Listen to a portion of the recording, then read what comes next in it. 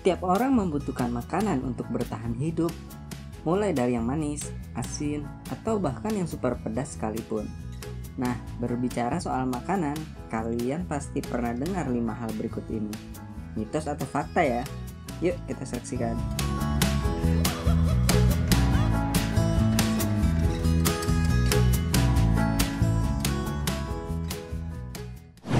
Makan di malam hari bisa bikin gemuk. Hampir semua orang pernah mendengar hal ini, mulai dari cewek-cewek yang takut dibilang gemuk, sampai cowok-cowok yang suka begadang. Faktanya, makan saat tengah malam tidak bikin kalian gemuk kok. Para ahli gizi berpendapat bahwa kalori adalah kalori.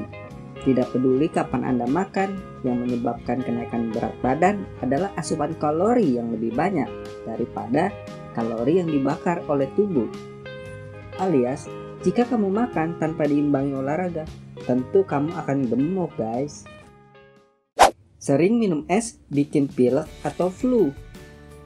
Yang perlu kamu ketahui adalah penyakit flu itu disebabkan oleh virus dan bukan disebabkan oleh suhu minuman. Kenapa?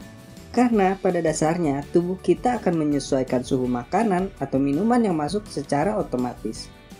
Namun kamu perlu garis bawahi bahwa es juga berbahaya kalau dibuat dari air mentah karena berpotensi besar mengandung bakteri yang berbahaya. Terlalu banyak konsumsi telur bisa menimbulkan bisul. Salah satu mitos kesehatan yang paling santer terdengar dari generasi ke generasi adalah bahwa kamu bisa bisulan kalau terlalu banyak makan telur. Padahal, telur itu sendiri merupakan salah satu makanan sehat yang bisa mendatangkan banyak manfaat bagi tubuh. Bisulan bisa timbul karena ada bakteri Staphylococcus aureus yang hidup di daerah kulit berambut yang rentan berkeringat dan alami gesekan. So, jangan takut konsumsi telur ya. Micin bisa bikin lemot. Kebanyakan makan micin sih. Statement ini pasti familiar banget di telinga kalian kan? Sudah sejak lama MSG dijadikan kambing hitam akan berbagai kerugian kesehatan Bahkan ada juga yang menuduhnya bersifat karsinogenik alias memicu kanker. Padahal teori-teori ini belum terbukti secara ilmiah. Tidak hanya di Indonesia, masyarakat Amerika Serikat pun banyak yang termakan stigma ini. Sejak akhir tahun 60-an, komponen utama MSG sebenarnya merupakan senyawa alami yang ada dalam berbagai bahan makanan kayak protein seperti daging, susu, dan beberapa sayur-sayuran. Bahkan tubuh kita juga memproduksi asam glutamat. Minum air dingin bikin perut buncit. Sistem kerja tubuh itu lebih hebat dari yang kamu bayangkan.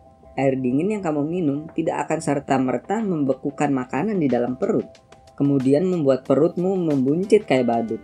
No, air dingin yang masuk ke dalam tubuh akan secara otomatis disesuaikan dengan suhu tubuh.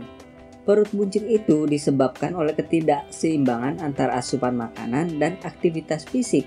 Akibatnya, kalori yang berlebih akan disimpan dalam bentuk lemak, dan kebanyakan lemak akan ditimbun dalam perut. Ya, kalau mau kurus, jangan cuma minum air hangat, tapi olahraga ya.